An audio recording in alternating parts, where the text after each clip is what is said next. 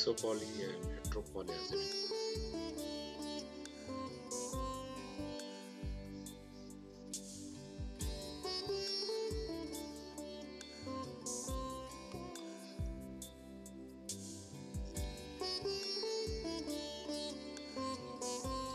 Amphoteric means you know it has both acidic and basic properties. Group 5b they include tantalum. Right? So this is Nb, this is V, and this is Ta. Then you have 6b. 6b you have chromium, molybdenum, and tungsten. So the important thing is plus 5 and plus 6 oxidation state. Weak acids that readily condense. Okay, condense. So you have minus H2O or minus HCl. Polymerize to form anions containing several molecules of the acid amide. Okay, so now this is a very crucial thing for you to know what happens with the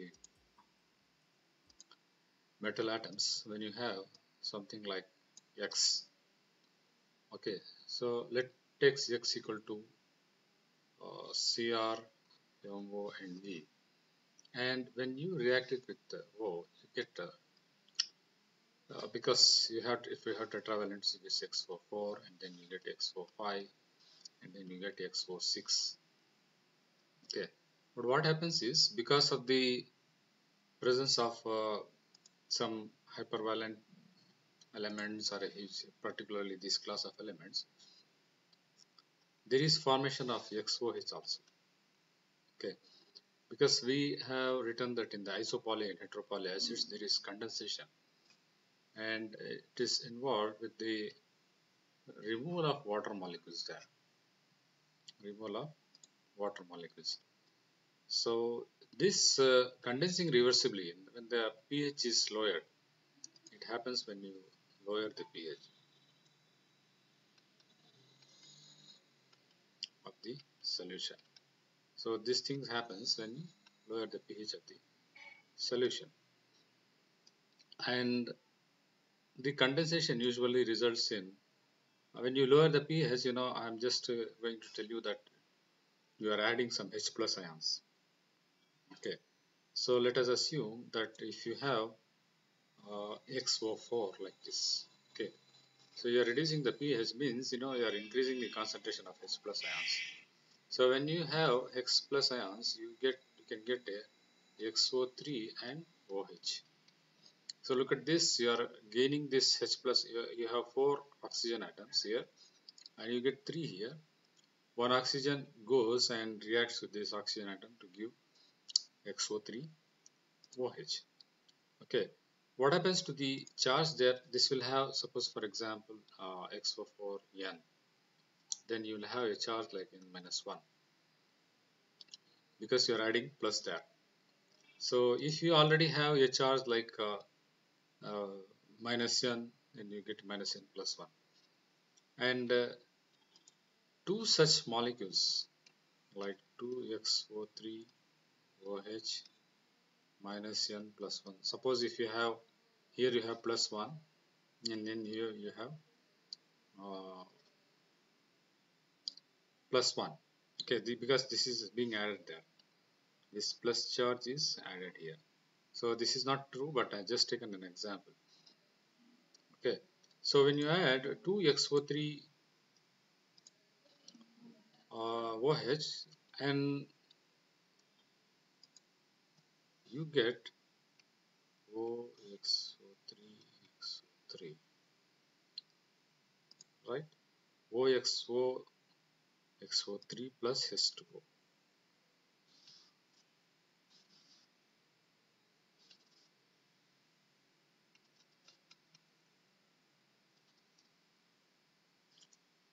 that is you know I can just put it in more better way.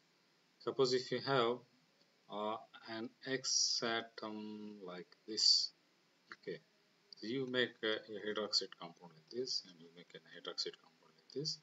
It's a bridged molecule. And then what happens is you just remove one water molecule there. So here this is one H and one OH and H. What do you get? You get uh, X O and X. That is what I want to just mention there. So if you have 2XO3 it will it will it will form the o, OXO another XO3 here. This particular bridge you know it's uh, is what you get here. Or even XOXO XOX okay so this is how you just have to remember it and it, it is happening only for this particular elements so not for everything so if this condensate is currently one type of acid anhydride remember the simplest acid anhydride we often see is CH3 twice and O. Second of uh, oxide. And they are called they are just called as the isopolyacids. Isopolyacids. And the salts are called as isopolysalts. The acid anhydrides can also condense with other acid like for example phosphoric or silic acid to form heteropoly acids. that is for example in the uh, while you reduce the lower the pH of that you just go on adding some phosphate or sulfate or silicate ions there. This uh, just go in between this and they form the heteropolyacid salts without this also they form but when you put when you condense them the presence of phosphates in this phase they form the acids now the beauty with this is they have got a very beautiful structure with this. And uh, for example uh, they just polymerize right? Polymerize means you know they just uh, join line by line here. So let us just before writing this equation I'm just going to tell you this. Uh, bridges we have seen that oxo bridges by elimination of water molecule molecules of the weak acid is an important thing you need to remember. The best known and the simplest example is the condition of yellow chromate ion CrO4 2 minus to form an orange is in the color isopolydichromate ion Cr2O and you have seen a lot of this. Cr2O7 2 minus an equivalent reaction of the extent which depends on the pH. So this is a intense colored compound intense color just we have seen like uh, KMNO4 also there. So manganese complexes also form there but they do not polymerize. The reason is the nature. And you keep on reducing the pH of the solution you get more and more uh, such polymers getting condensed. An equilibrium reaction that is to say that if you reverse the pH reverse the pH okay the same thing will again come back. So that's a very important point for you to mention there. In acidic solution the isopolyions Cr2O72 minus predominates while in basic solution the simple CrO4 so this is a, a kind of CSIR question there that uh, what is the reason for chromium not forming higher higher higher polyacids higher polyacids. For example I'll just mentioned one uh, one important polyacids there. MOO4 okay. Seven of these molecules condensed together with uh, 8H plus. 8H plus. They give remember the reaction MO7 O24 MO7 O24 it is plus 6H2O okay. So here G7 is 2 minus here 6 minus. Right? So you see in this uh, there are seven such molecules are being added. And when you increase the pH this is what is happening. When you reduce the pH this is what is happening. It's coming back. Okay So you can just take a calorie of this CrO4 2 minus plus 8H plus it just goes on. pH increase and pH decrease. So it's a reversible reaction. Cr2 Cr7 O24 so it's in 6 minus plus 6H2O is also there. Now this is uh, the difference between them. Then MO7 is uh, reduced. It gets back to MO4 but uh, here Cr2O7 it goes back there. So you can just uh, again after something what happens is it uh, forms Cr2O3 and even Cr CrO2 this capacity of uh, forming smaller smaller molecules.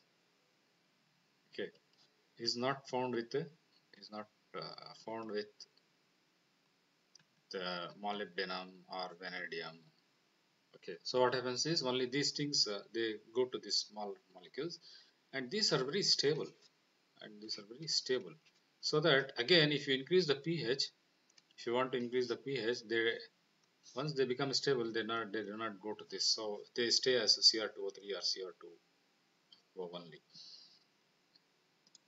Okay so the existence of this ion and, and crystalline salts has been proved by structural studies such an ion is uh, likely to be protonated or uh, associated with water molecules in aqueous solution.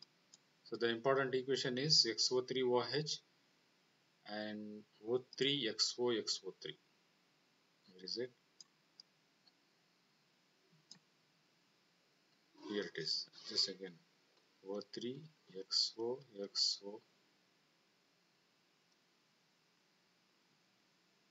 O3XOXO O3XOXO3 and this particular bridge is what is oxy bridge. And is a result of removal of two hydroxide ions from as a result of the, the water molecules there. Okay so pH is lowered to about 6.8 polyanion formation commences. pH lower to 6 to 8 polyanion commences. This is a, a very important point. Polyanion formation commences. Only at pH equal to 6 to 8 it, it starts to happen there. When the solution containing MO7 O24 is acidified further, you get uh, MO8 O26.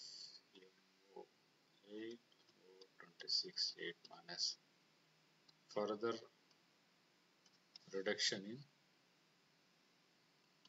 reduction in pH. MO8 O26 so it is 4 minus that okay. And uh, larger ionic complexes so it becomes larger as a result of that for formed for higher acidity but none has been identified up to pH of 1 because you know at pH uh, a very important question is you just keep on reducing. At pH which is equal to less than 1 and trioxides are formed. Trioxides are formed. So this is a very important point for you to write. Why doesn't uh, now some of the ions with when you keep on reducing the pH they do not go and form a uh, larger ions means you know at lower pH they just uh, trioxide is precipitated. Many different techniques have been involved and uh, conductometric pH titration UV spectroscopy they have been used to find out the structure of that.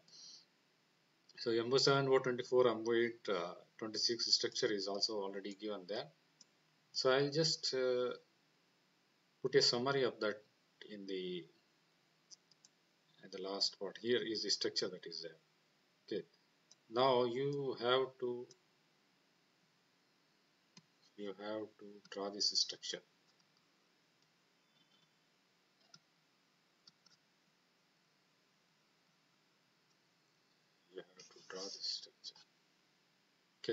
otherwise it won't fetch you the marks. So let me just summarize this okay. Uh, it is uh, reducing of pH uh, W6 O21 further reduction uh, W61241 W6 O W12 O41 and that is uh, pH of about 6 to 7 uh, is there. pH 6 to 7 so here it is H. And then this is a reversible reaction. And uh, it's about for example pH 5 4 5 to 4 like that. So again you you have this hydrogen atom because pH when reduced you get uh, the H, uh, H atom added to that. So it is 5 minus. It is 5 minus and this one is 10 minus. The cationic charge is there. This is reversible reaction and then further reduction into the pH is there so this is uh, an important thing you have to mention that uh, it's called as para tungstate A and this one is called as the para tungstate B para tungstate A and para tungstate B. Let us see what is happening to the uh, pH. When you just reduce this pH to 3 uh, this is giving you S3 W6 O21 S3 W6 O21 3 minus. Okay. So this one will be called as the uh, metatungstate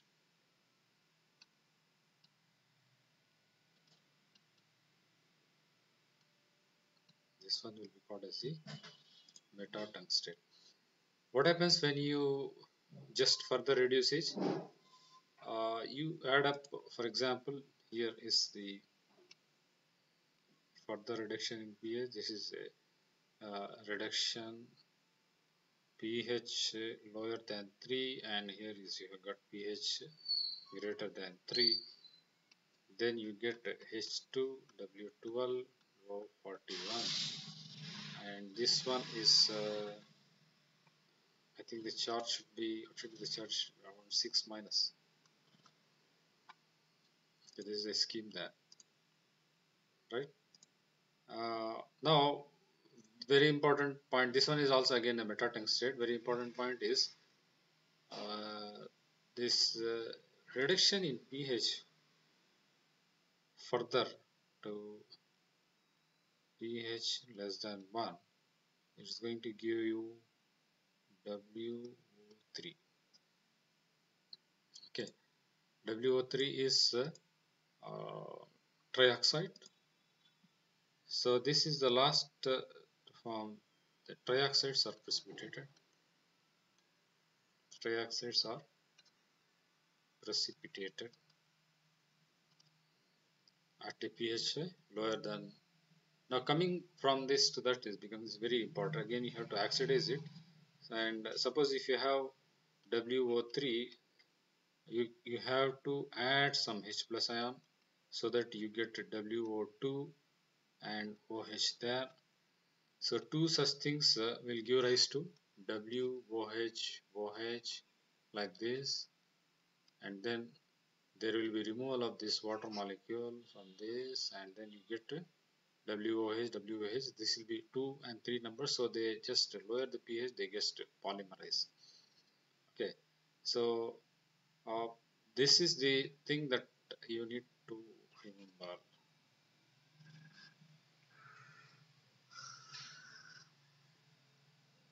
This is thing you need to remember, very important point. Okay.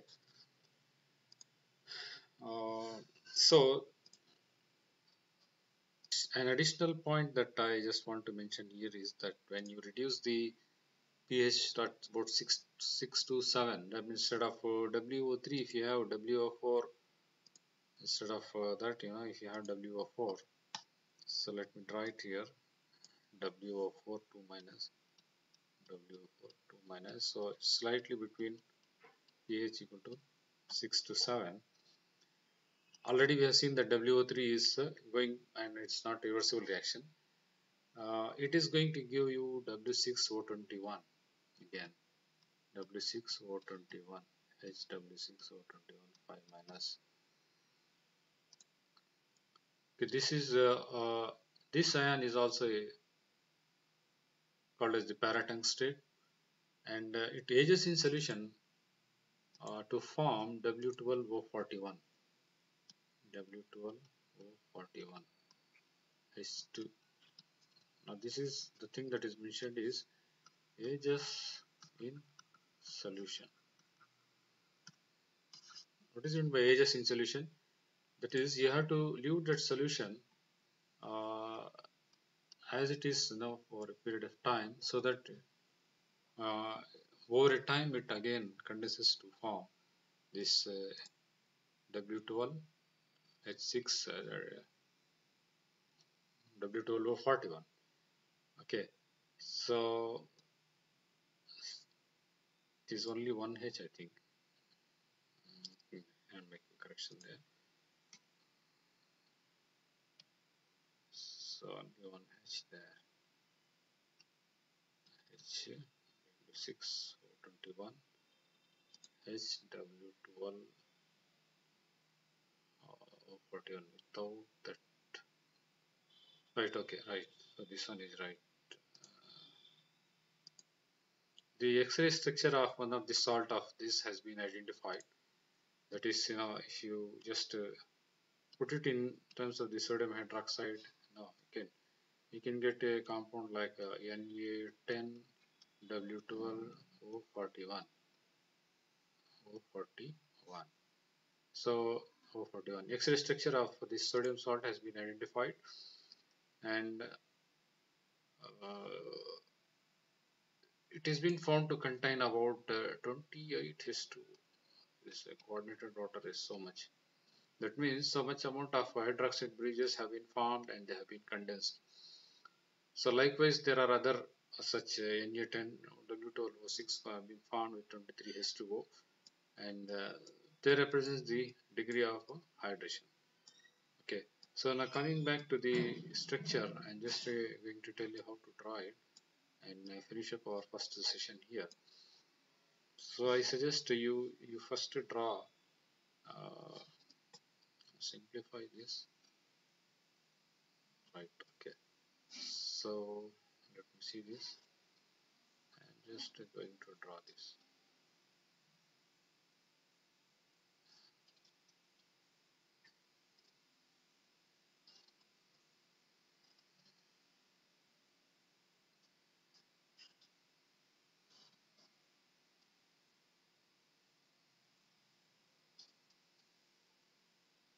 So after drawing this, I'm just putting some lines here to identify this uh.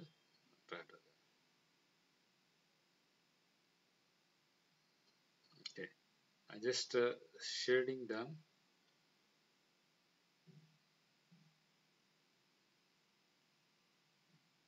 Taking some efforts to draw, you have to draw it, otherwise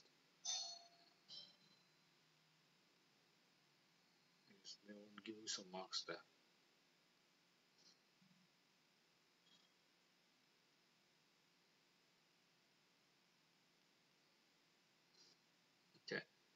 So here, uh, after drawing this, you know, I think you have to, um, the center part is also there.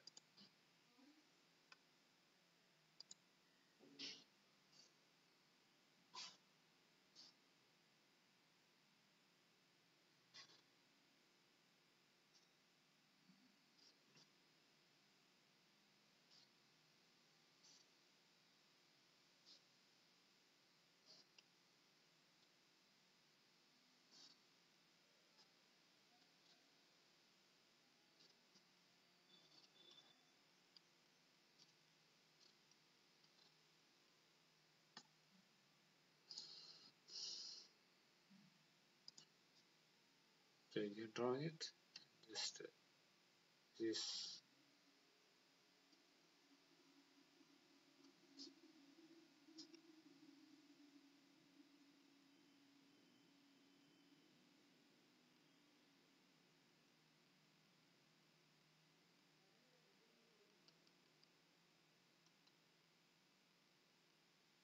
Yes shade it to identify. Similar things there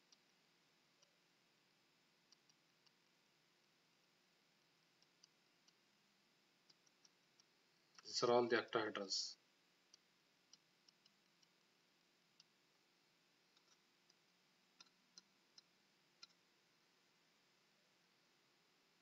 now this you have to number it as 1 2 3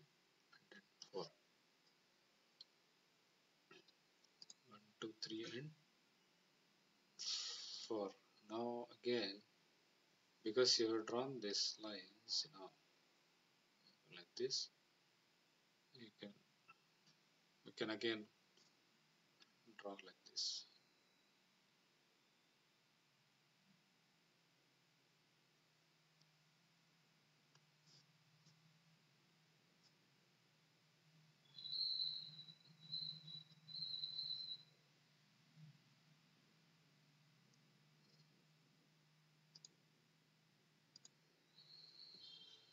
Same thing for this portion also.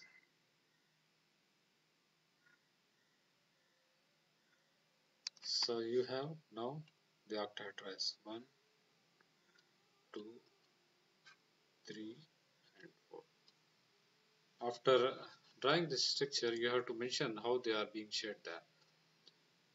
Now this uh, the centers of this 1, 2 and 3, 4 this is the centers of this 1 2 3 and 4 they form a rectangle. This is the center this is the center this is another center. They form a rectangle. Not only that the 1 and 3 2 and 4 share corners. 1 and 2 sorry 1 and uh, 3 and 2 and 4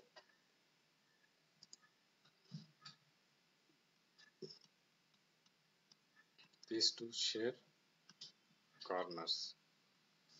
Here this is a corner right? I think I told you this this thing is called as the edge and even or sometimes it is called as the apex and this is a corner there which uh, which octahedra is sharing which you have to mention there and then these are all the sides uh, this particular thing you know which I'm going to shade here. Is called as the face. So there is no sharing of the faces there only sharing of the edges and the corners there.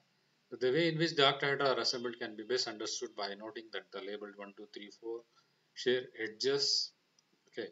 All the 1 2 3 4 share edges while 1 3 2 1 and 3 and 2 and 4 share corners so that the 1 2 3 4 form a rectangle. Okay. 1 2 3 4 share edges. This is the 1 2 3 and 4 where this is there is this is the edge there. Okay. That edge is shared by this.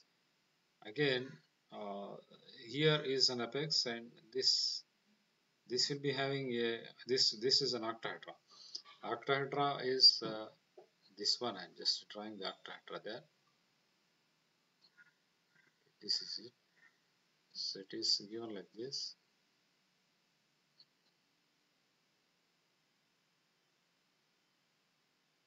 You have to imagine it. So that means you know a portion that is hidden is like this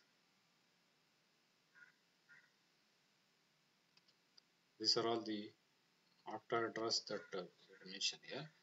So suppose if you have oxygen here here here oxygen here oxygen here you will have our molecule is MO okay?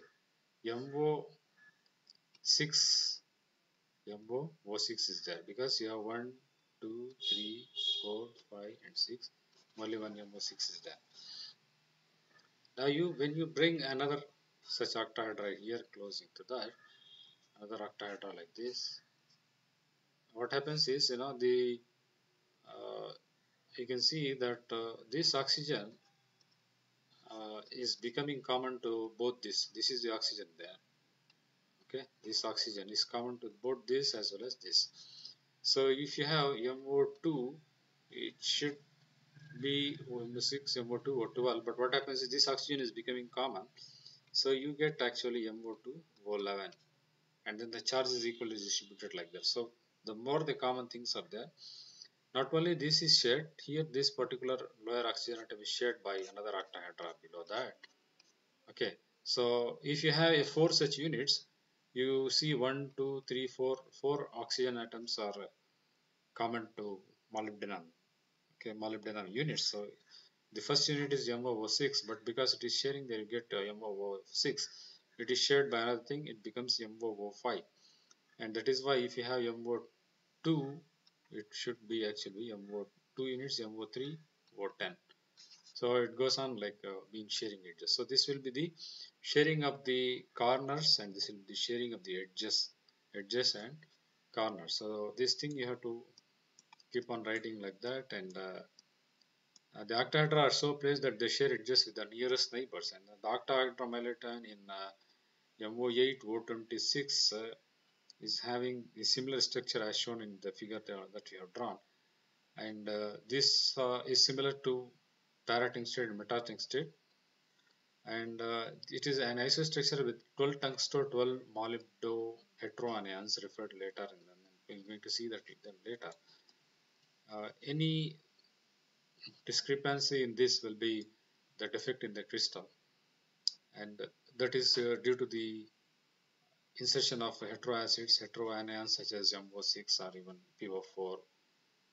This uh, PO4 and SO4 anions may be during condensation, you know, they may go involved in into inside this PO4 minus. Then you just call it the heteropolyacids. Heteropolyacids. So here is the structure that this is viewed from above. This is viewed from above and this is from the sideways. So we have seen the one, this is the one, two, three, and four. You can see that the centers of this, you know, are forming a rectangle. Centers of this are forming a rectangle there. That's what we have seen already. And uh,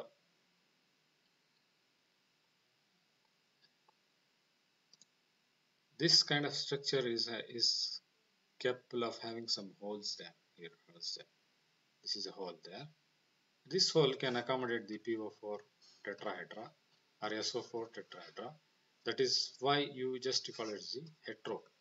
Otherwise if this is not shared it is a uh, isopolyacid. So it's only contains MO7 so one oxygen atom at the center is common to this one this one this one and uh, this oxygen atom is common to this one this one. Where is it? Not only only two. So there are places where oxygen atoms are common to only two tetrahedras and two octahedras but you just have to draw them to give you a structure. Okay we shall see something more about the structure in our later class. Thank you for joining me. See you soon